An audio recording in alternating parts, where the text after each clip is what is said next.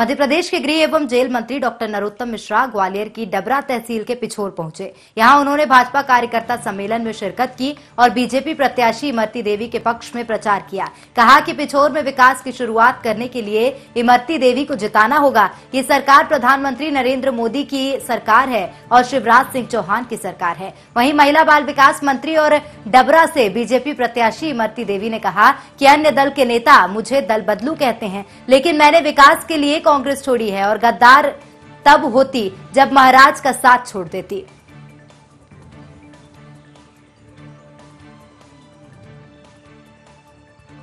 भी आगे उनके साथ ज़्यादा बोलने वाले लोग भी आगे जो भाषा हम नहीं बोल पाते, जैसी भाषा वो बोलते हैं।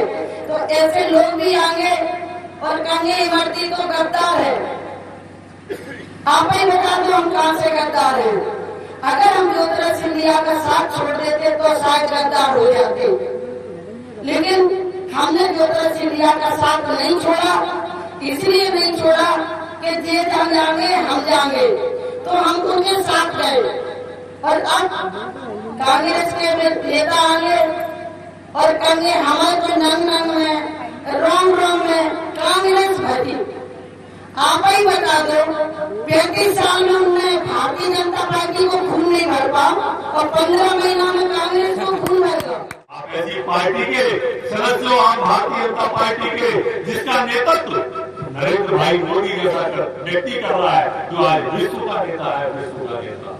आप उस पार्टी के सदस्य हो, जिसके सर्वाधिक सांसद देश के अंदर है। आप उस पार्टी के सदस्य हो जिसके सर्वाधिक विधायक हिंदुस्तान के अंदर है। आप उस पार्टी के सदस्य हो जिसके सर्वाधिक मेयर, सर्वाधिक जिला पंचायत, सर्वाधिक जनपद पंचायत और सरपंच भारतीय जनता पार्टी के है। आप भारतीय जनता पार्टी के स्वर्णिम काल के लोग हो। स्वर्णिम काल के अंदर विचरण कर रहे हो। आज किसी की हिम्मत नहीं है कि भारतीय जनता पार्टी की तरफ़ टेढ़ी आँख करके देख जाए। किसी की हिम्मत नहीं है। और आप चिंता मत करना।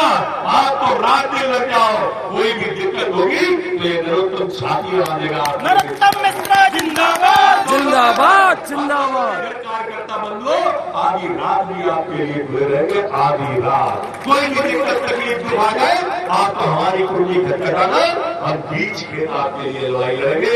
ये वचन देने के लिए आया हूँ। आप भी वचन देते हो युवती के लिए कि पूरे बीस दिन दोगे हाथ उठाओ बोलिए